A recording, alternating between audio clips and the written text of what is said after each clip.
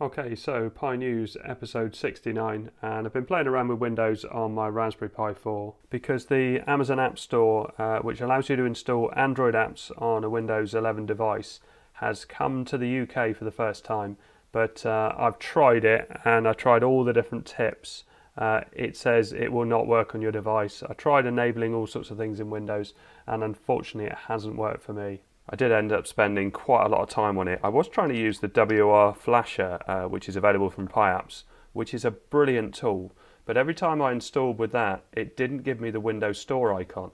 Uh, and so I couldn't, I didn't have access to the Windows Store for downloading games and apps. Uh, I don't know why that is, but in the end, I went back to the original method I always used to use, which is the WR project uh, on the website and, and downloading it all manually, which is a lot more work but it did give me the Windows App Store, but I couldn't get Amazon to work. Anyway, let's get on with the news. So first up on 9 to 5 Linux, we've had a newer release of Raspberry Pi OS. So it was only a couple of weeks ago that we had the fairly major update to Raspberry Pi OS, but this update improves the detection of Bluetooth HID devices and the startup speed of LX Panel network controller plugins. There was a typo in Raspberry config uh, that resulted in an empty file being created. Fixes for broken keyboard shortcuts for opening the Wi-Fi and the Bluetooth. Oh, I found that out in my video. Oh, only in the 64-bit image. I only I've only used the 64-bit image. Bogus text output in Raspberry Config's network configuration selection, and an issue where the text entry in the searchable main menu was ignored while the caps or numlock keys were active. So the kernel's gone to 515.61, and it is the operating system that I base my KDE builds on. And uh, so I'm pleased to get all those updates. And it explains how you can update to that in here. sudo apt update and and sudo apt full dash upgrade. So I did a YouTube short on this. Uh, basically, the PiCast had their 100th episode, and they had Andre Costa on there, who is the creator of Raspberry Pi Locator. And there were some really good tips on how to get a Raspberry Pi. So things like times and retailers and various different things. So if you still haven't got a Pi, it's worth watching that video because uh, you may learn something extra that you haven't been checking before. And I had a question. Um, so on my KDE build, which I'm using at the moment, which I pretty much always use for Pi News, from Bill B, I've seen a couple of others mention keyboard local issues. I too would like a US keyboard, but even with the changes in Raspberry config and the Raspberry Pi configuration, the behavior of a UK keyboard remains. I guess this could be more down to um, because when I set this up, uh, I install Raspberry Pi OS and then uh, so I'd always pick UK because I'm in the UK. And after I've set it up, I install KDE and make all my customization. So a long-winded way around it would be to look for my playlist on my channel, my KDE setup, so that you can do it yourself. If you don't want to do uh, my download, uh, so in this playlist, I go right from the start from Raspberry Pi OS, install KDE Plasma and all the other bits that I put on it, all the other customizations. So you could start off with Raspberry Pi OS, but tell it the region you're in, uh, and then it shouldn't have that problem. But if anybody has a simpler way of doing it, if they could let me know or let the commenter know, uh, that would be much appreciated. Hackster.io had this story Little Bird automates stock picking with Bishop a Raspberry Pi powered Raspberry Pi picker. So as it says here, it's designed to speed selection of Raspberry Pi boards and other compact products. I don't know how many Raspberry Pis they have in stock. They probably these are probably empty boxes. It does say other items as well. You can see there's cables and various things there. Australian electronics retailer Little Bird Electronics has made picking and shipping Raspberry Pi single board computers and other gadgets significantly more streamlined by using a Raspberry Pi to automate the process. And there's a video here as well, so let's have a quick look. Uh, I'll just scan through it. That's cool. So it's a Raspberry Pi 4B. Yeah, very nice use of a Raspberry Pi. From Tom's Hardware, Raspberry Pi Pico keyboard has OLED keycaps. You can see we've got a display here. It's all backlit. Looks very, very cool. One of the things I really like is that it's got a dial. Uh, I just think uh, for certain things, dials are much better.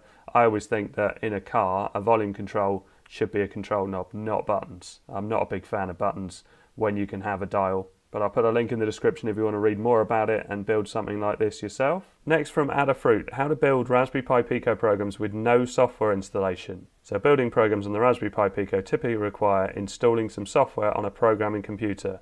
But when people arrive with a mix of Windows, Mac OS, Chrome OS, and Linux laptops, often with different versions or architectures within each group, trying to guide them through the process can easily take a whole lesson and require individual attention to debug each particular problem while the other students get bored. So this uses Google's free Colab service to build a program for the Raspberry Pi Pico microcontroller in the browser. So you don't need any software installed on your local computer. Very impressive. So if you want to check that out, again, link will be in the description. So I remember K9, which is a robotic dog from Doctor Who in the 80s. And uh, Fitz Walker has built one, a life size replica. And here it is from the original series. And there's a video on there as well. His iconic ears twist back and forth, a probe emerges from his forehead to detect alien life, and his antenna tail wags in all directions. And it all runs from a Raspberry Pi. Very cool. Now, I've covered this in Pi News before, DevTerm, which is uh, a portable computer and as it says, retro inspired. If you have a look at it, it does look cool. It's got a little mouse tracker here, some dials on the side, uh, a very wide screen display. They've updated it to use the Compute Module 4, so it's going to have quite a lot more power. Uh, but uh, yeah, just a cool looking piece of kit. Saw this guide on Medium, haven't tried it yet, uh, but I thought it looked interesting. I thought other people would want to try it. Uh, Raspberry Pi, CCTV camera, and NVR. Now, if we scroll down, there is various instructions on how you can do it. Now, I did one recently using MotionEyeOS, which I'm really pleased with. Uh, I use that on quite a regular basis, but uh, it's nice to have options, and we certainly have options on Raspberry Pi apart from availability. Next, from All3DP, top 50 cool Raspberry Pi cases to 3D print in 2022. Uh, it just popped up on my feed. I don't know when the story came out, but uh, I thought anybody would be interested to see what people have come up with. See a nice one here with a fan inside and loads of holes in the top for air circulation. We've seen lots of towers like this from various people, really nice design. Adaptable fan case, so you can do different sizes on there. So if you want a bigger fan, which can run slower and still cool us just as efficiently. Futuristic case. There's just loads in here. So I'll put a link in the description. Um, that's a very nice looking one. Uh, very inventive. Yeah, really, really impressive. I haven't really gone through all of them yet. That's huge. And uh, that look looks like phono sockets. Not sure if it is. Uh, it's got some little speakers on there as well. So I'll look at that in my own time. Uh, look at that, amazing. And thanks to Peter Savas for sending me a link to this. Uh, I can't remember if it was in an email or a comment, but uh, this is from Big Tree Tech, and they've got something that, that mimics the size of a Pi 4B. So you can see uh, the USB. If I if I hover near it, it zooms it. Oh, we can do it this way. Look. Uh, so USB-C, the two micro HDMI's, uh, the USB sockets and uh, the LAN socket. So it mimics the exact size of a Raspberry Pi 4, uh, but it also uses a, a, different board. So obviously software isn't going to run the same. Uh, it's not all going to be the same things, but maybe things can be adapted. But I just thought it was a clever uh, way of doing things. It does also support the Compute Module 4 as well and converts it into a Pi 4. I did a video recently converting a Pi Zero 2W into a Pi 4B or a Pi 3, which actually fits in a Pi 4 case. And you can see there's various configuration here. Again, I'll put links in the description. The mini deck from Hackster.io again. The mini deck is a small folding cyber deck based on the Raspberry Pi Zero 2W. I really like the Zero 2W. It's super powerful for its price. And you can see here lots going on with a, a almost like a sort of BlackBerry style keyboard and uh, very tiny OLED display, but lots of description as well, which I always like to see, and sensors, connectivity, and so on. So Fedora 37 beta is available. I haven't got around to testing it. I've had loads of things to do, and uh, I do mean to do it because Fedora is a very nice operating system, including the latest GNOME 43 desktop, updated compiler, official support for Raspberry Pi 4, and there's a link in here for all the images I've got a video showing Fedora 34, which is very nice, uh, but we're three versions on now, so it could be even better. So Raspberry Pi and Steam, not the Steam you may be thinking about, it's uh, running on a Steam-powered engine. We know how complicated it can be sorting out the power demands of your Raspberry Pi project, but this creation from maker Mike Bell takes the idea to a whole new level. Using a small Steam-powered engine, he's managed to power Raspberry Pi Pico along with a few accessories. Takes approximately two to three minutes to get the water boiling in the steam engine, once everything is hot and ready, the Pico can run for around 12 minutes before the water in the boiler dissipates. It's not very practical, but I love it. Portable Raspberry Pi tricorder detects Starlink satellites.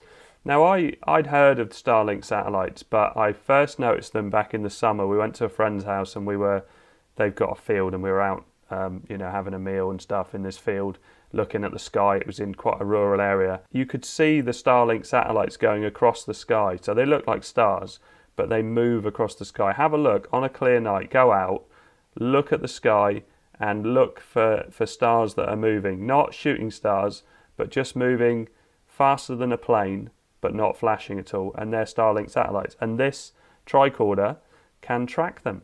Uh, you can see it's uh, an interesting looking bunch of wires in there, but uh, but obviously very impressive. We've got this uh, detector on the side.